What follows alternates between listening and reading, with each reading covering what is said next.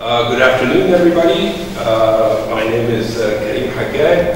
I'm the director of the Center for American Studies and Research.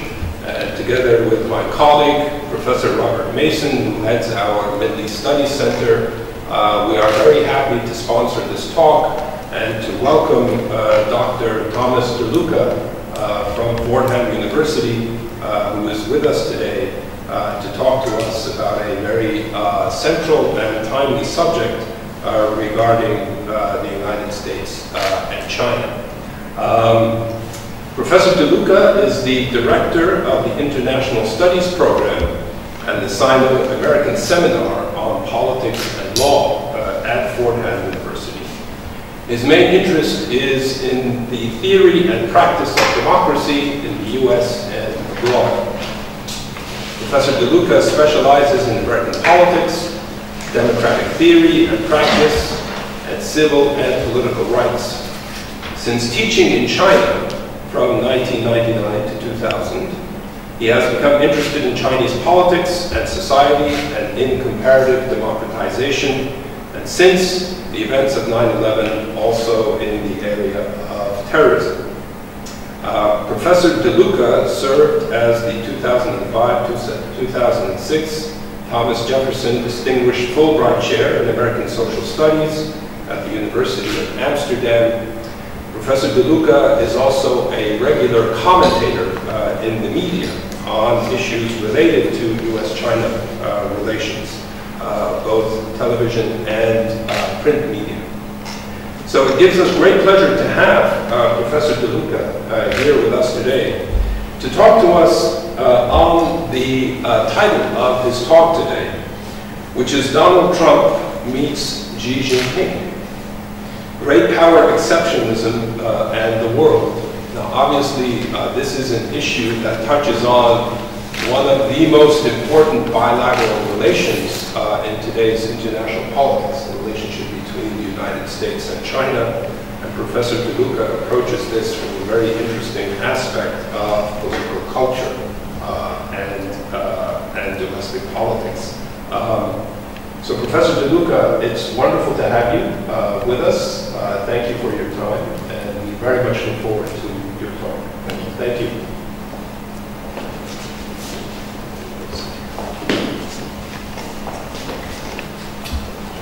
First, let me thank Professor Karim Haggag and also uh, Ms. Yasmin El-Ghazali, I didn't pronounce your names close enough, uh, for this warm welcome. It's been terrific. Before I started on this topic, I just wanted to make one comment, which was that my interest in China uh, started when I taught there as part of the Fulbright program, uh, the, the, American Fulbright program, um, which gave me the opportunity to really see something that I'd never seen before, something really new. And I'm so happy now to hopefully be having that same exact experience here in Egypt, which is uh, new for me, and I'm very, very interested uh, in uh, being here. Um, and, and so, um, in my mind, this is, you know, just as my China experience for me was open new worlds and opened up new avenues of cooperation, I'm really hoping that this will, uh, I'm confident this will have the same effect. So I'm very much looking forward to this.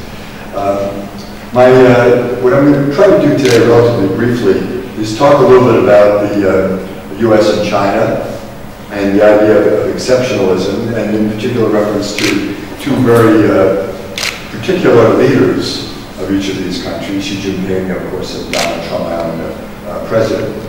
Um, the the um, most basic thing, of course, is that as China has grown more powerful, um, the relationship with the United States has moved from one of, which was largely one of cooperation for a variety of reasons over many years, to one much greater uh, competition.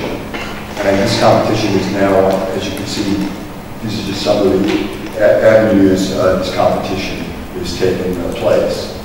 Um, and this is an example here, economic competition, asking this question, which one of the following do you think is the world's leading economic power? Now imagine if we'd gone back 10 years, 20 years, 30 years, we wouldn't have even had a chart like this, right? The United States would have been clearly the dominant economic power in the world. And now you can see that um, you know, Germany, Sweden, Netherlands, Canada, UK, the countries the United States has a very good relationship with, see uh, uh, China as being more economically powerful than the United States. These are people from these countries. And uh, again, whether this is true or not is, is not the point, right? Whether China is actually more economic power. The point of the perceptions and the nature of the competition between the two countries. Um, this competition, uh, of course, has material roots uh, based on economic self-interest, but also is driven by ideas. And uh, one idea in particular I'm going to focus on in this talk is the idea of exceptionalism, which I'll talk a little bit about uh, with regard to uh, what I would consider to be an American version of American exceptionalism and a Chinese version of uh, Chinese exceptionalism. Um, the idea of exceptionalism really comes out of the United States, but it's, a, it's, it's, it's an idea that can easily be, be applied to any country that views itself in a very, very uh, special way. Um, one of the reasons why this is important is because um, as the competition between the United States and uh, China heats up, there's always the danger of, that, of it turning into, uh, you know, at worst, a military conflict. And it's not, uh, not impossible. The U.S. and China already fought one major war back in the 1950s. Of course, conditions are very, very, very different now. And I just remind us, uh, as many have pointed to, the idea that we need to remember, uh, you know, World War I was a war that uh, probably few people would have predicted, and uh, you know, some would argue it didn't need to happen, but it did happen. And millions and millions of people were killed in this war. And one of the, one of the points here is uh, that, um, um, as I'll get to, that um, this war was between countries that had very similar cultures which I'll talk about in a minute. Now, some of you may have heard of uh, Graham Allison, who's recently written about he calls the Thucydides trap, the danger of a rising power, and the threat that a, uh, that a um, um, uh, dominant power may feel from that rising power.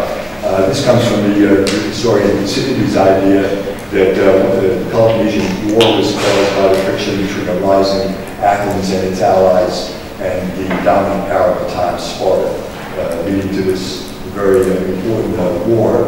And um, we saw something like that happening with a rise in Germany and an established Great Britain, at least that's the argument goes, back in 1914. Um, so you can see what Allison writes here, the past 500 years have seen 16 cases where a rising power threatened to displace a ruling one, 12 of them ended in war. That's what he calls the, the Thucydides trap. And he says those conditions are present today in U.S.-China relations.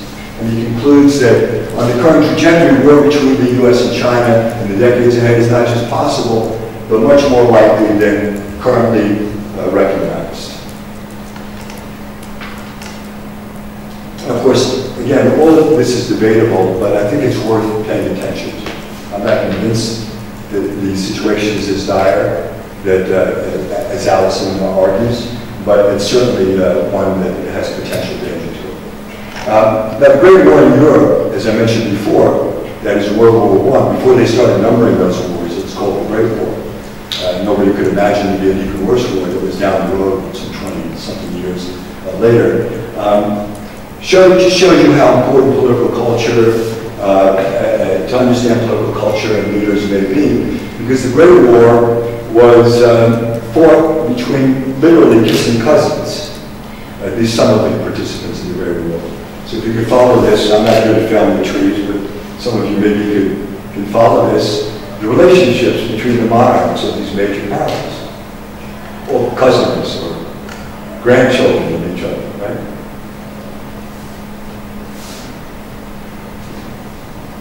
And here, uh, this is actually quite interesting. I uh, hope I got this right. The, uh, in 1913, when did the war break out? 1914. It was 1913, this photo taken, where the English king was wearing a German uniform, and the German kid, Kaiser is wearing a British uniform. They're cousins, and uh, you see war on the horizon here? Now, I just remind everybody, right? Of course, the point here is simply that if you can have a war that gets out of control in this way between people who are literally related to each other, with relatively similar cultures, that, you know, the danger would be uh, uh, magnified, at least to some degree, by the fact that you have, you know, the American and Chinese culture being different, very different styles of leadership, very different histories, and, and all, all the rest of. Therefore, the confrontation between the U.S. and China, we need to pay think, some special attention, not just to conflicts of interest, as, for example, the realist school of international relations would suggest, but also to tensions between different ways of seeing the world. And this brings me um, to the idea of political culture and American exceptionalism. Um, I'm not going to spend very much time, so I'm going to go through this pretty quickly. But the idea of political culture is simply, you know, the values, beliefs, uh, um, and the needs of societies uh, with regard to how they think they should be organized politically, why they think their way of organizing the world is the right way to do that. And really it has to do with the way culture uh, identifies itself politically, the identity of the culture, the identity of uh, people as political uh, people.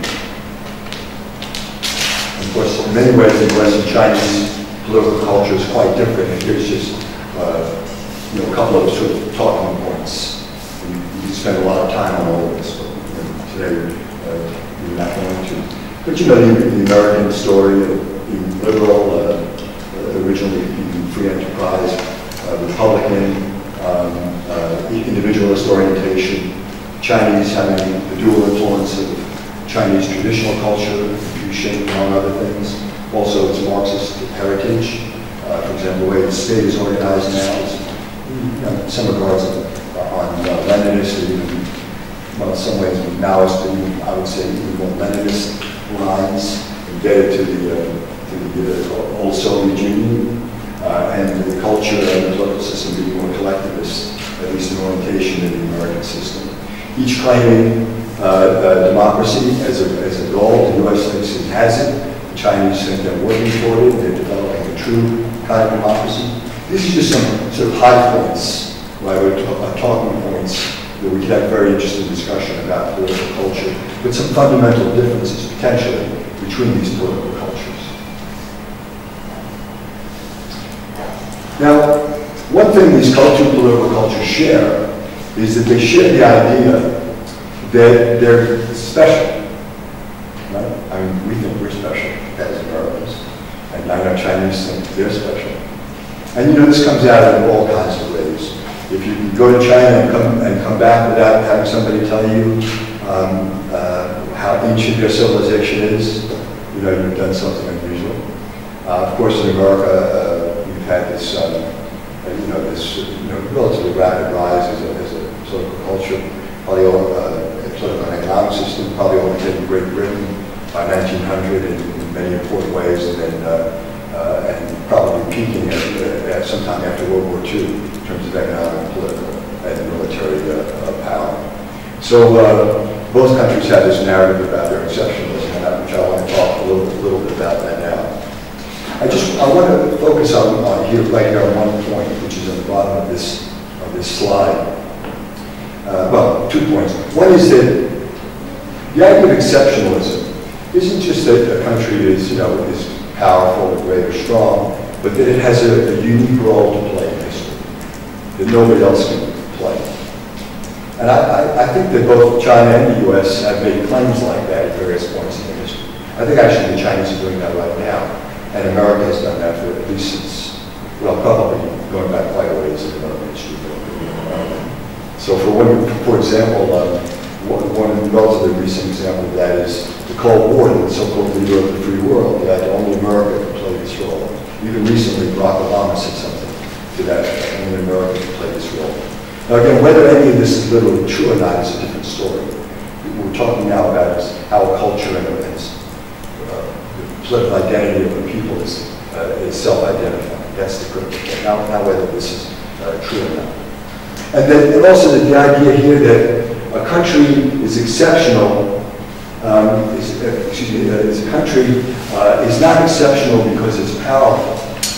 It's exceptional because that's in the nature of the country. So in the American example, some would think this comes from God or from providence or from nature. Right? Um, power comes from that. But the exceptional quality is something uh, endemic to the, to the culture, and the power flows from it. It's not that the country is exceptional because it's powerful. It becomes powerful because it's exceptional. Um, and so please keep this in mind so I don't get into, uh, I want to be politically correct here. Uh, to, to make these arguments, especially about my own country or, or about China, is not to endorse the idea of. But, it, but it, these are real views held uh, in both countries, I think, and uh, um, I think they're, they're, I know in the United States to get debated. It's not that everyone has one view by any stretch of the imagination. Probably younger generations are less enamored with this idea, that polling shows, than older generations. But nevertheless, it's a real thing that, that needs to be uh, considered. Okay. American exceptionalism. So, the idea that the U.S. was given by Providence or God a special role to play in the world. It was to be a city on a hill, a beacon, a shining beacon that will be a guide for other countries. So imagine these Puritans coming over to this so-called New World and uh, having to have some strong reason for having made this crazy, very difficult trip. And so what they were doing was establishing something in their mind, something new. Of course, a lot of that in those days was very religiously motivated. It wasn't just to get away from oppression, but it was actually to create your own religious identity here, and then actually oppress other people so if they weren't Puritans. That's a, probably another story for another day, right? But the idea that um, we're going to be free from the corruption of Europe, something new. Um, no feudalism here, no inequality because there's limitless land, limitless frontiers, uh, abundance, um, a beacon to mankind. Now, of course, a lot of this exceptionalism narrative um, develops from, you know, these, something new being created and then developing over time uh, into this great, powerful nation. And of course, a lot of this whole uh, exceptionalism idea ignores many things. For example, genocide against Native Americans in the United States, slavery, the American Civil War, and we could go on and on, misogyny, and, uh, and so on. Racism, we're still fighting these battles. But of course, the exceptionalism narrative, as most myth-making narratives, uh, uh, elides those kinds of troublesome historical facts. Um, to protect its unique uh, character, America's first president, George Washington, uh, famously in his uh, farewell address, warned America not to get entangled with Europe. Don't get entangled with that corruption. We have to focus on establishing this republic here. And Jefferson thought we could become an empire of liberty that would be also a guide to the world. Lincoln had a similar idea.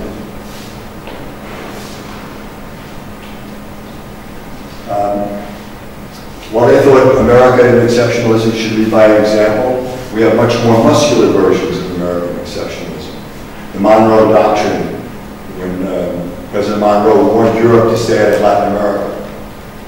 Now, we didn't actually have the wherewithal to keep them out at that time, but the British did, so uh, that, that sort of worked accidentally. But still, this idea, this is America's role. We're going to do this. Manifest destiny. The U.S. had, you know, it was given by God or providence or nature the right the whole American continent. Westward expansion, Native Americans in the way, Mexicans in the way. The idea that America was entitled uh, to this. Uh, World War I, famous catchphrase, make the world safe for democracy. Uh, World War II, it's not there, but uh, arsenal of democracy. Um, right up to the war on terror, when uh, George W. Bush uh, claimed that the barbarous attack New York Al-Qaeda was executed because they hate our freedom. This was, this was the argument being made. Um, of course, this was not, uh, uh, I was in New York that day, so I remember this very clearly. But th these were not the reasons that were actually given by Al-Qaeda, but it was used as, a, as, the, as an idea. One of the reasons why, I mean, why, one of the reasons why the U.S. had to engage in this global war on terror, which eventually led to the American, not invasion of, of, Afghanistan, but Al-Qaeda was, but to Iraq um, for uh, other reasons. Um, We were told to stop weapons of mass destruction, also to stop terrorism. There were, as you know, no weapons of mass destruction. Uh, Al-Qaeda and, and uh, Iraq had nothing to do with each other, uh, nothing positive to do with each other. But then the idea that by doing this, we can also help establish democracy in the Middle this is where we really get to the idea of American exceptionalism. This idea we can promote freedom throughout the world. And this sort of neo-conservative idea has been much debated in the United States. And the Iraq War has now helped discredit, but it keeps popping up, popping back up. But again, this idea we can promote freedom through this kind of, uh, among other things, through this kind of uh, activity. Um, so in other words, there, when I say American exceptionalism, there have been more uh, kind and gentle versions of it. There are also the much more muscular versions of it. So all Americans, again, are not in one piece with this idea, but they are, they do agree on the specialness and the role that the U.S. can play. This is just a poster um, about uh, nine, about the war against terror, TWICE, TW18. Okay, now American exceptionalism gets debated in the United States, and uh, President Obama, soon after he took office, got into some trouble over the idea of American exceptionalism in the following way. You see, see the quote on the top? I believe in American exceptionalism, he said. Just as I suspect the Brits believe in British exceptionalism, and the Greeks believe in Greek exceptionalism. Well, of course, what conservatives argue is, if, if, if you're saying that, that means you don't believe in American because what American exceptionalism means is the U.S. is unique. It's not like everybody gets to be exceptional in that way. Sure, everybody has a great culture and so on.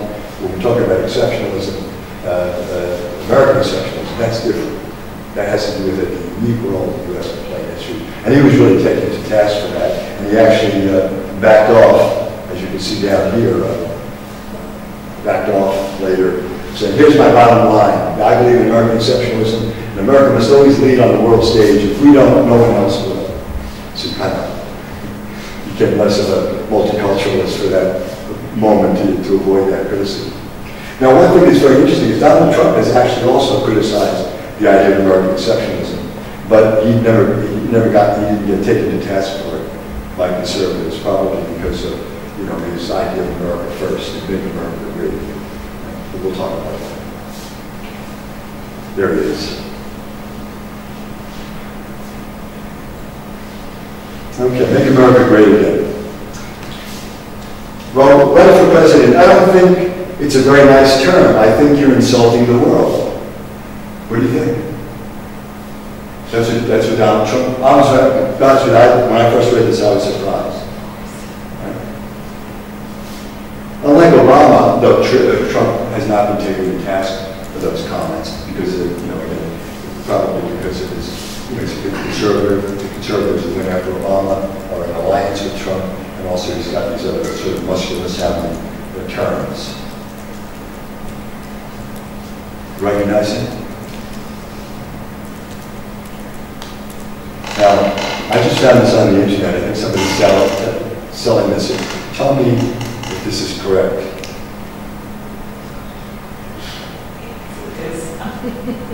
I, I mean, I have no idea. So. I was a little afraid to put this up there today. You know, I could be saying anything, I have no idea.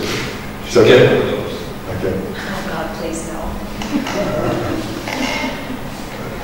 No, I think that, I, you know, I wasn't, I didn't spend a lot of time with. I wasn't clear if somebody was putting that out there because they wanted to, to sell that hat, to be inclusive of Muslims in the idea. That's what it said on the website, to be inclusive of Muslims in this idea of making America great.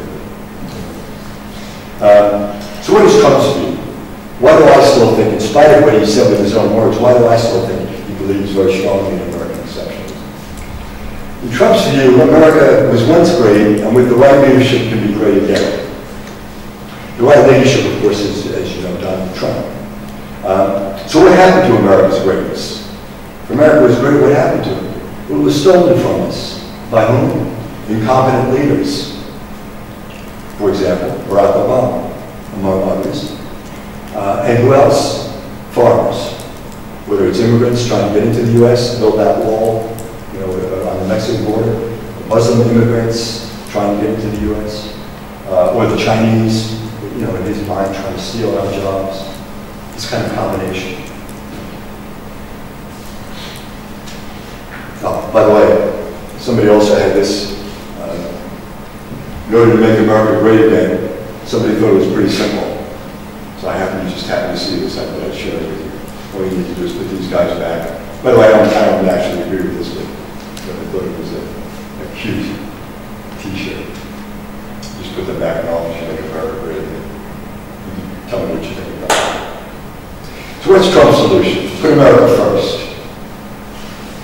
He thinks all policies should prioritize the United States, American citizens, under the assumption that in the past, America has been pursuing soft-hearted policies to help others, whether these are illegal immigrants or foreigners, such as the Chinese.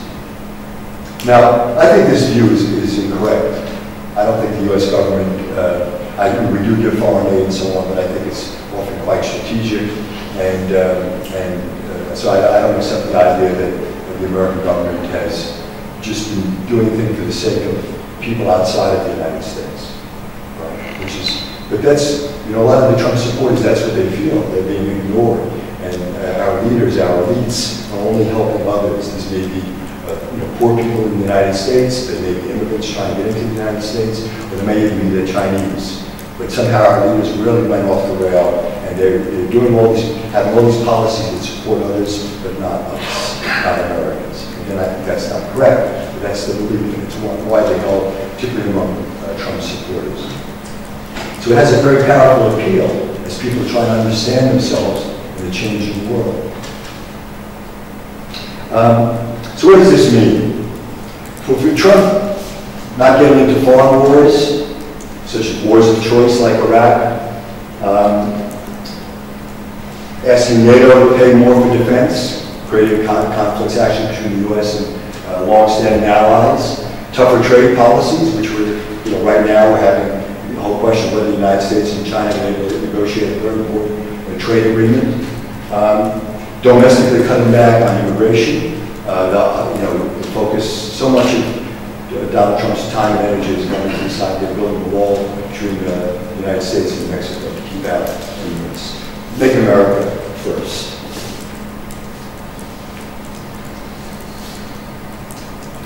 Here's a sort of a little bit of a joke on the wall. Um, Trump has extolled the Chinese, saying, look, look what they did. They built this uh, really great wall. And he said that, that was even before they had uh, uh, Caterpillar, you know, uh, tractors and, and, and uh, digging devices and all the rest of it. Of course, what Trump doesn't know is the last Chinese dynasty, which lasted 268 years, was run by Manchurians, who at that point had gone right around the Great Wall back in 1644 and took over China. So the last Chinese dynasty actually wasn't Chinese, it was Manchuria. Now China since then has, of course, absorbed Manchuria. Um, so the wall didn't work then, and of course, somebody cracking wise over there said, China built a wall and they have almost no Mexicans. Show the uh, little ironic humor here with regard to my president. All right, so why, why, why is uh, Trump, is Trump an exceptionalist in his own way? While uh, President Trump claims to, uh, not to believe in American exceptionalism, what he's doing is he's, he's stripping it bare to pretty much raw power relations. He down- downplays ideals and suggests basically we have to get the bare knuckle transactional arrangements in which the United States, through ability, willpower, and leadership, will win. In a fair competition, Trump believes, the United States must win. Because that's his explanation as to what, why, why isn't the United States doing as well? Because of foreigners and bad leadership. So, so in a fair competition, foreigners cheating and bad leadership allowing foreigners to treat and giving away the store. So why is it that America uh, uh, isn't great anymore? It's because of these failures. If we correct these failures, America is destined to win again in a fair competition. But why? Why is America destined to win in a fair competition if it's, there's not something about America that Trump believes is exceptional? See? So hidden in his rhetoric, I think, is, is a Trumpian version of American exceptionalism. Still believes America is destined for greatness. But the fight has to be fair. Can't be cheated. Now, here's the dangerous question. If this fails, whose fault is it? If it fails, whose fault is it? Now, this idea of victimization, that is, that it's foreigners, uh, bad leadership, that causes our problems, it also plays a very important role in Chinese, in Chinese about their own exceptions, which I'll talk about in a second. Um, now, we need to remember uh, Adolf Hitler also used the idea of victimization as a powerful, uh, you know, uh, stimulant for Nazism in Germany. In other words, the idea that it becomes a very toxic brew for authoritarianism. Why? Well, the nation is being stabbed in the back. The nation is being stabbed in the back. The German people, the great German people were stabbed in the back. They were stabbed in the back in World War I. That's why we had this horrible Versailles Treaty, Versailles Treaty, and so on. Well, you know, Trump is saying, of course, it's not the same thing. It's not, but there's something here. And, and then the Chinese in their own way do. It's probably a very common way of explaining failure. But it's dangerous because it can lead to political movements, first called populist, later become more outright fascist. And some Americans are quite worried about that. So uh, in the end, Donald Trump must believe that America is entitled to win in the competition it enters. Therefore, while he says it's not nice to talk about American exceptionalism, I believe he believes in it nonetheless. Again, the danger, what happens if America doesn't prevail? The losing can only come about because it was unfair, it was subverted by others. Dangerous belief to democracy. Let's uh, now talk a little bit about uh, China and Xi Jinping.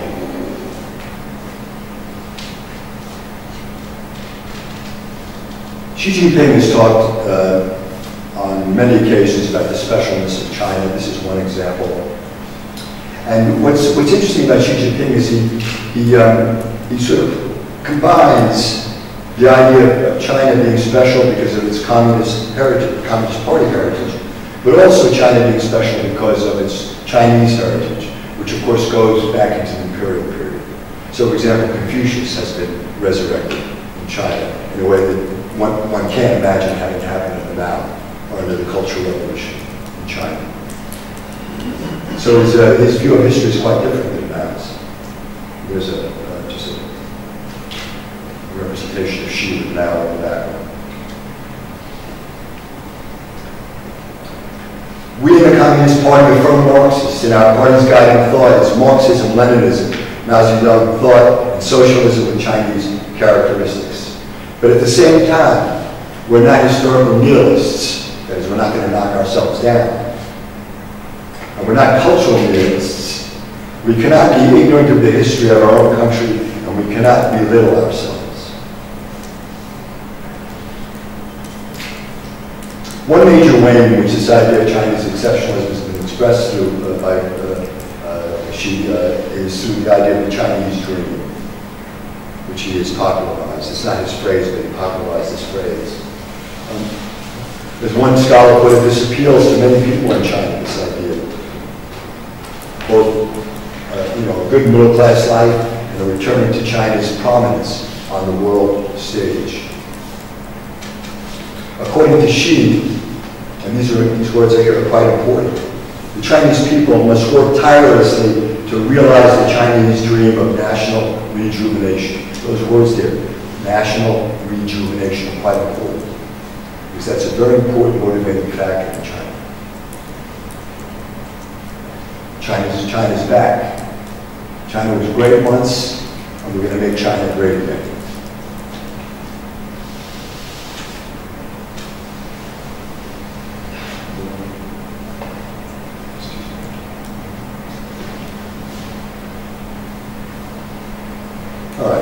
So let's just very, I know this is a lot to kind of throw out quickly. But the idea of Chinese exceptionalism, which is background for which is thinking. Um, just quickly, the imperial period, the idea that China, which called in Chinese uh, Tianxia, the idea of being under heaven. China, the, the word China in Chinese Zhongguo uh, literally means um, uh, uh, middle kingdom or country.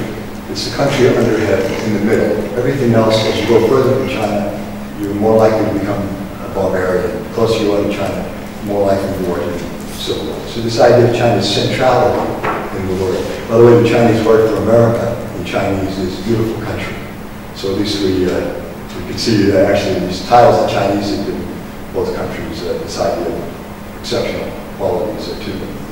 So the imperial period, this idea of being under heaven, um, the idea, and again, you know, a big part of this is mythology. The idea that China uh, has this preeminent moral authority through Confucianism and other ways of thought, uh, which includes a benevolent pacifism. That is, China, by its nature, is not an aggressive country. It's not an imperial country in the sense of going off to conquer new lands and take colonies as the West had done. Um, and uh, including others in its relationships. That is inclusive, the idea of it being inclusive. In the revolutionary period, that is, uh, you know, the, period of the 30s, 40s, and, and 50s, um, for now, China should lead the third world because China um, was a victim of imperialism. China was once a great power, and because its own principles are based on um, universal ideas um, and that China will not abuse its power, China should lead the third world. And then in the contemporary period, a number of ideas which bring this kind of all together in a modern way. The idea that China will break from the violent paths of other rising powers, break power reformism. That is contrary to the Thucydides trap that we talked about before. China is a rising power that can rise peacefully not like Germany, rise peacefully. Um, because China assimilated other cultures rather than oppressing them, China will pursue a peaceful foreign policy.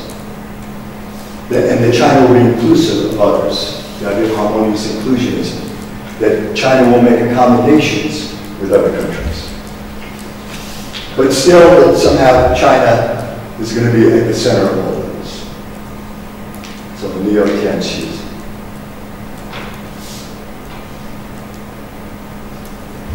One of the great motivations for China uh, is, uh, is nationalism. Um, uh, the idea that China is an exceptional nation in culture, and it always has been, enjoying uh, maybe a third of the world's gross domestic product back around 1800, but then being subject to what they call a century of humiliation really starting with the Opium Wars, and being relegated really to a third or fourth rate power, even if that, by the Europeans and by the Japanese. And yet you see some of the, just some of the things that the Chinese on their list of particulars of the abuses that have been visited on, with particular scorn for the Japanese to this day in China. This is just a sort of cartoon of the unequal uh, unequal treaties carving up China. If you read this, uh, America, Uncle Sam there, Germany, uh, I won't go through all the names, but all of these countries being represented here.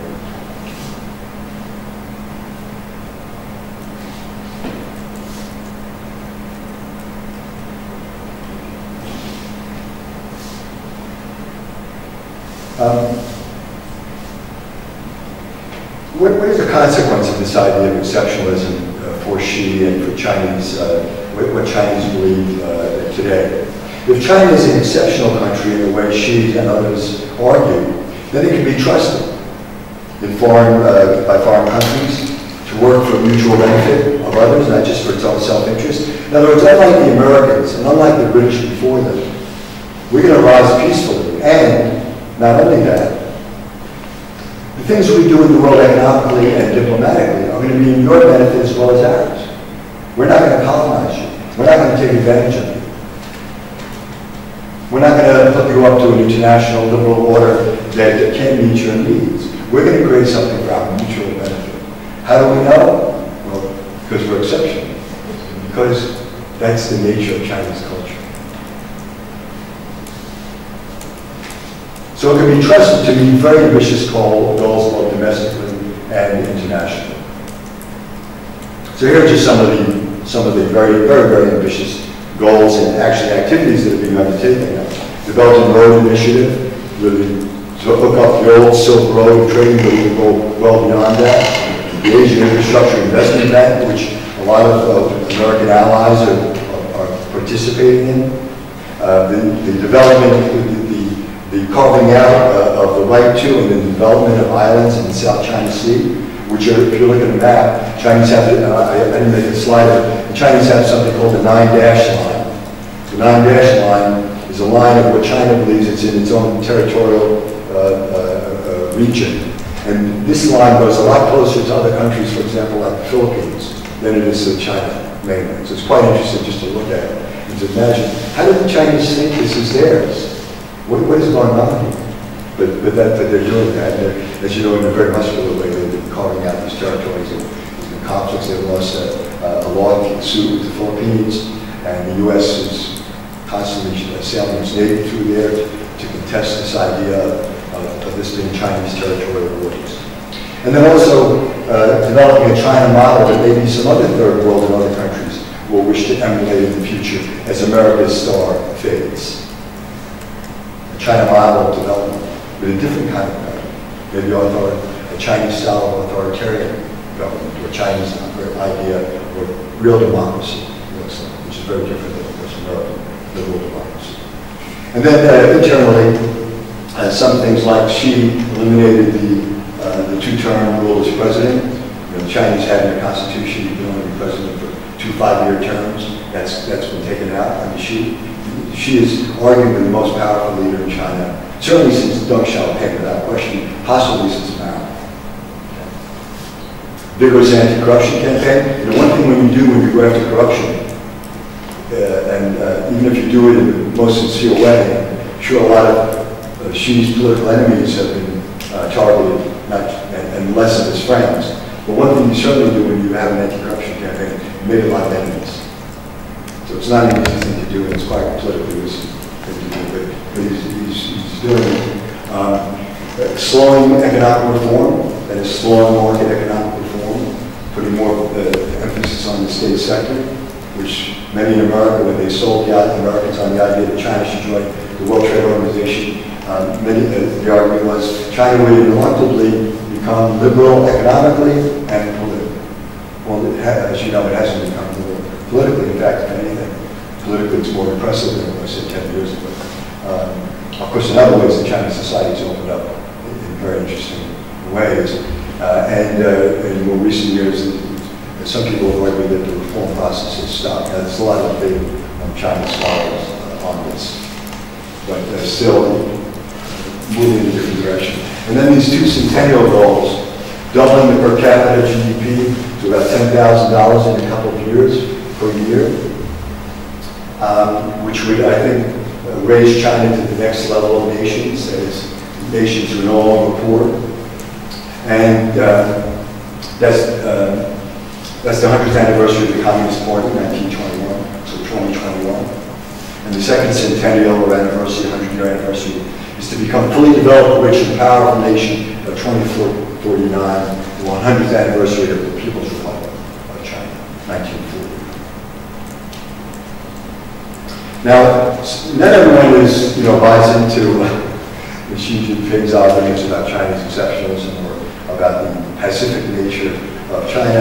And here are a couple of harsh assessments from uh, the U.S. on the bottom and then also from, uh, from uh, uh, Great Britain. Um, Callahan argues really what the China the dream is, is the goal of returning China to its imperial glory, Where, she's quote here, right? Eurocentrism is replaced by Sinocentrism. Westernization is replaced by Easternization. American exceptionalism is replaced by Chinese exceptionalism. Whereas uh, Elizabeth Economy puts it, Xi Jinping sits on top of the Communist Party, the Communist Party sits on top of China, and China sits on top of the world. So there you go. Egypt, pick a side.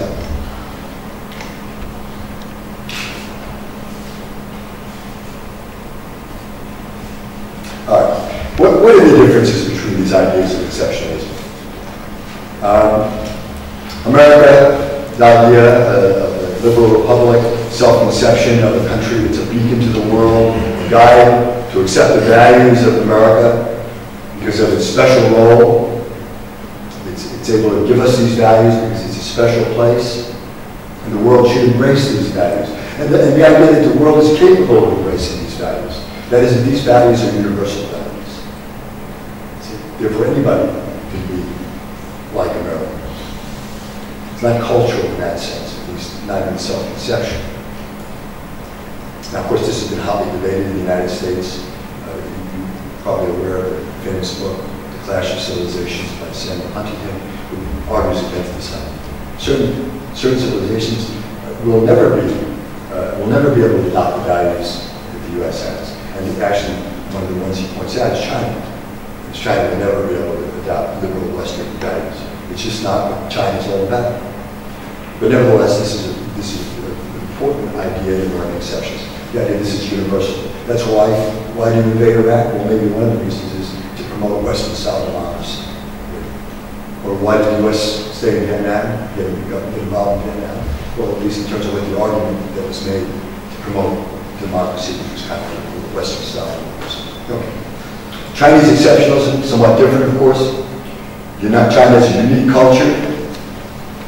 That is, now this is where it gets a little tricky. That has been able to embrace a form of Marxism, and then the putting together of these two things, which are quite, in some ways, Mao would thought contradictory. Somehow, modern China has put this together in a way that's unique and different.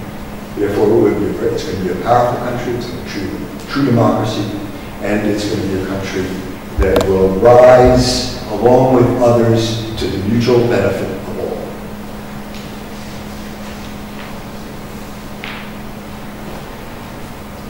So what are the differences? What are the differences between these?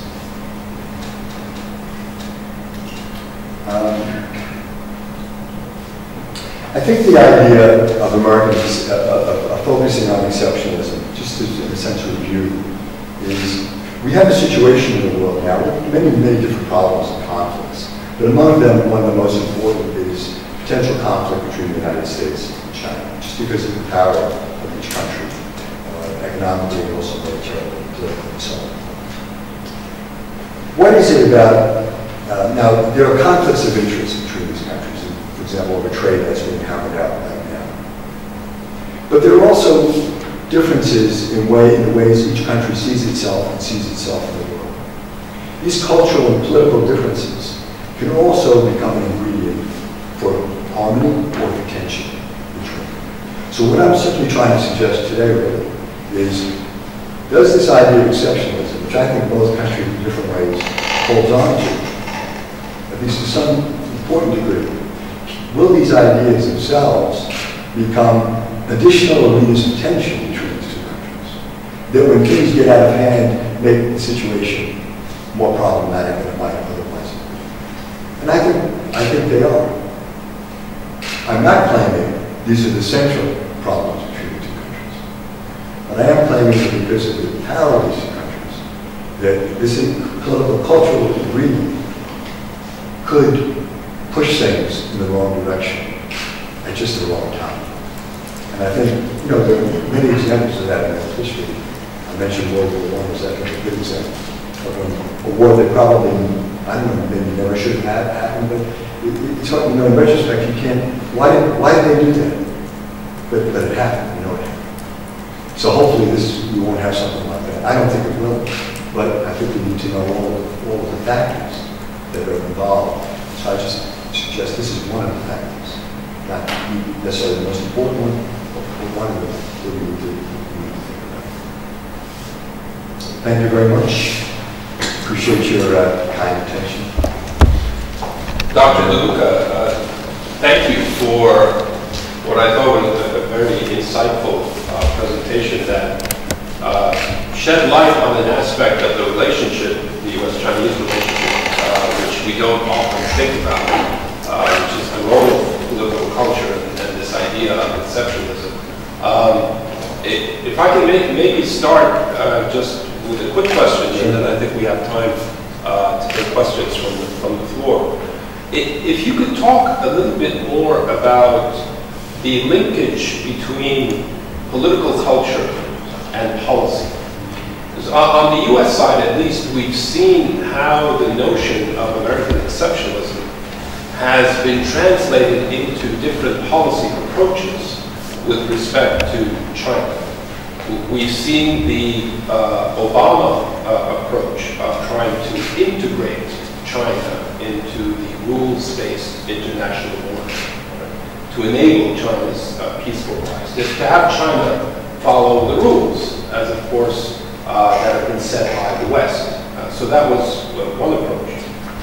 We've seen the uh, approach adopted by the Bush administration, which was a very uh, tough, muscular containment approach towards China, also animated by the sense of American exceptionalism.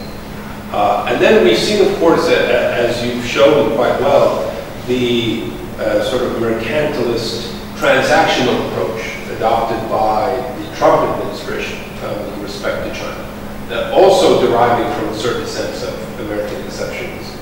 Um, so we've seen these different policy approaches. Um, how have these approaches been influenced by um, notions of political culture? Uh, not only with respect to how the United States views itself, but how it views China's place uh, in the world? Yes. Um, that's a very, very important question, very good question. Um, I, I, think uh, we see, we're seeing two kinds of strands of American political culture. If you remember when I, I mentioned about how uh, President Obama was criticized because he talked about exceptionalism as if you know, every country in the US has its exceptional qualities you have the more, I, I, for lack of a better term, the more liberal and more conservative way of doing this. Um, and so I think that there was a, a, a lot of optimism among the liberals in China, and also, quite frankly, among many conservatives that China into liberal order. To some degree, it has been. But there's also been, certainly among some conservative skepticism uh, as well. Uh, and that's, I think, George W. Bush was uh, more skeptical, but, we also got on board, got on board the China train. In fact, if anything, Barack Obama, with his pivot to Asia, uh, uh, uh, made the Chinese nervous. Uh, you know, what Bush had done was bog the United States down in the Middle East, particularly in Iraq and, Afghanistan. And one of Obama's objectives was to say, you know, that's not really the real problem, or, or the potential problem might be in Asia. We have this rising power, we need to shift our focus there. Um, and so I think that, um, uh, but, but both, you know, uh, had this idea of the U.S. being the indispensable power that must lead. And so in that regard, I think they both were very, very similar with regard to China. And I think actually in his own way, uh, Trump, Trump is as well. So I think the political cultural idea is how you explain this to the public. What, do you, you tell the public about why you're doing what you did. And I think for all of these presidents, basically in different ways saying that uh, China has to play by the rules. If they don't play by the rules, you know, and of course they're assuming America always plays by the rules. Right? If China doesn't play by the rules, then they have to react in some way. And so you get very different reactions by these three administrations. Thank you. Um, why don't I? Why don't we take a round of questions sure. uh, from the floor and maybe uh, address them uh, together? in the interest of time. Um, questions from the floor? Allison. Um, when we had some interactions with some faculty from China a few years back, mm -hmm. and they, in relation to conflicts in Africa in particular. And one of the things that they raised, the Chinese faculty raised in that meeting, was a sense of a foreign policy aversion to messy situations. and kind of raising the idea that even though a lot of countries in this region in particular would like to see greater foreign policy involvement on the part of China as a counterweight to the United States, mm-hmm. that China itself would be very reluctant to engage in situations where it wasn't certain of the outcome and where it could conceivably get burned, so to speak. And I'm just wondering your, your thoughts on, on that observation, whether you see that as being consistent or whether as China increases in power, uh, both economically and politically, it might be more willing to take on these messy situations. Um, well, I think China is probably right now in some messy situations. Uh, but uh, I, I, think that's basically correct, though. Uh, but, but China will make a calculation. in other words, what do they get out of this relationship? So what are the resources that they get, or what is an investment that will be paid, paid back? Uh, um, some people are, are concerned that uh, uh, people who take Chinese investments will get stuck in a debt trap. So that's a whole other issue from say, the Africa or other, other parts of the, the other side of this. Just as many countries, for example, South America got stuck with an uh, International Monetary Fund a debt trap some years ago. So I think these are all real concerns. But I think the Chinese will be calculating about it. And I think it's, I don't think it's going to be a problem free vote for them. But I think these initiatives are very ambitious and they are going to push forward. Uh, they're not, as you know, much concerned about the human rights records in these countries. But the U.S. hasn't always been either. I mean, I won't mention any names right now, but you know, so, uh, but, uh, but, that's not that's not even really a factor very much, unless it becomes messy.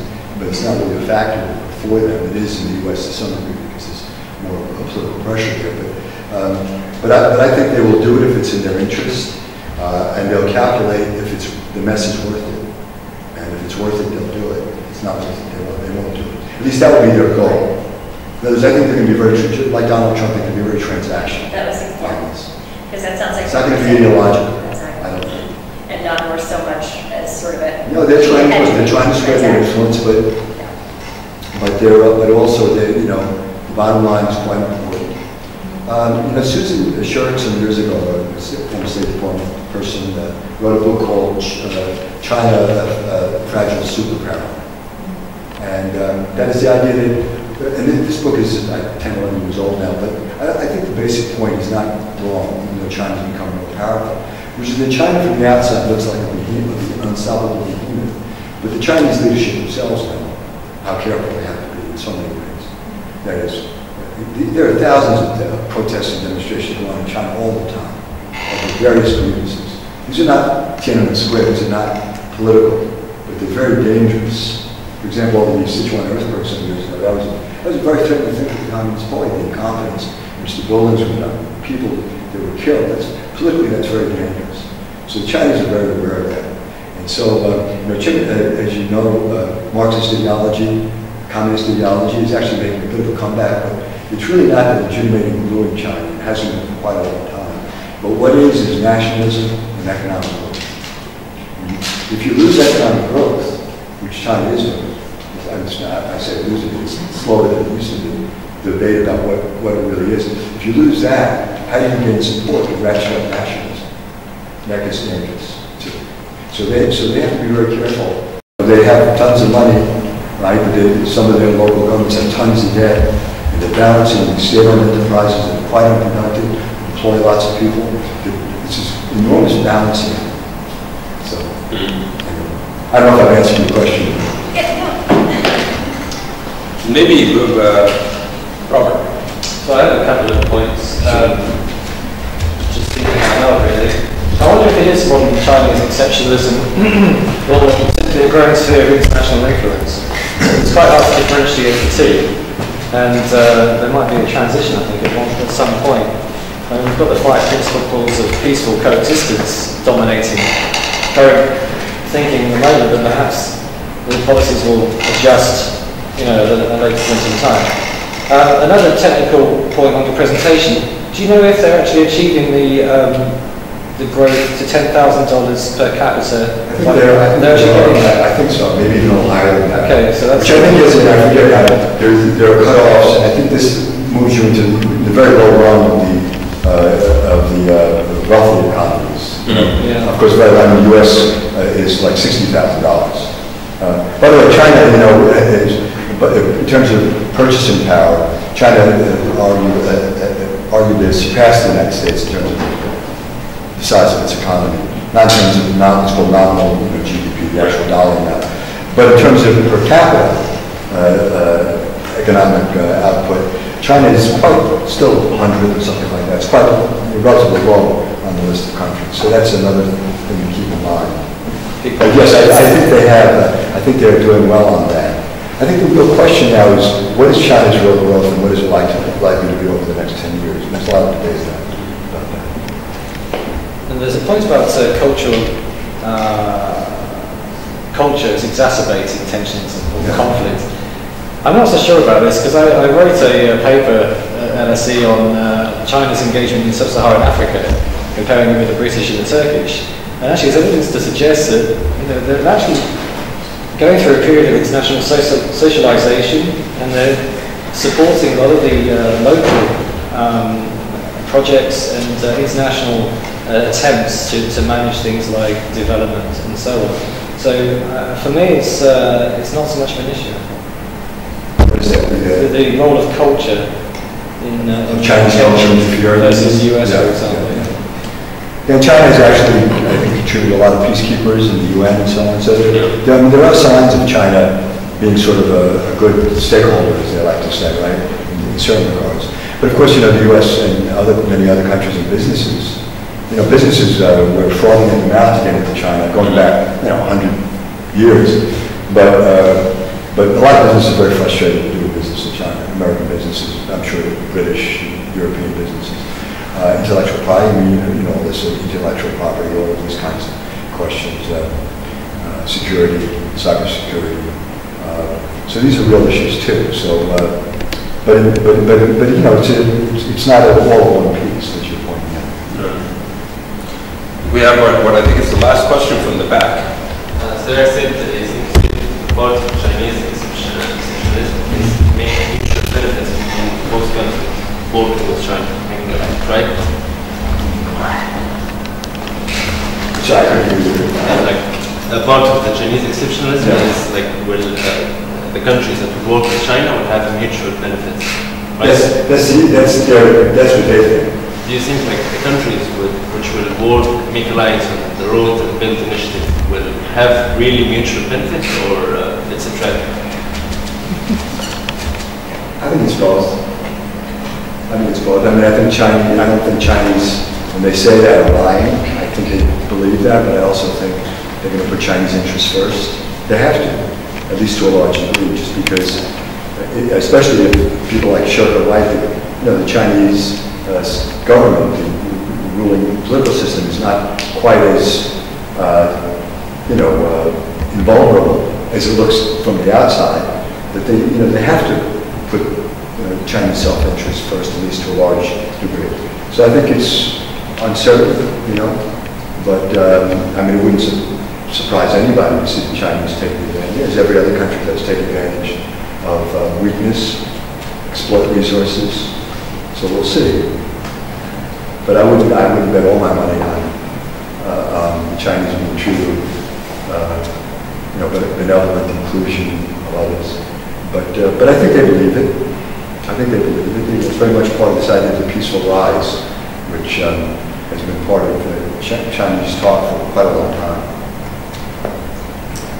Professor De Luca, uh, on behalf of the Center for American Studies and the study Center, I want to thank you for a very illuminating talk. I think you uh, put this very complex relationship into a very interesting perspective for us. Um, Please thank me, please join me in thanking uh, Dr. De Luca. Thank you. Thank you all for being great audience. It's great to meet you.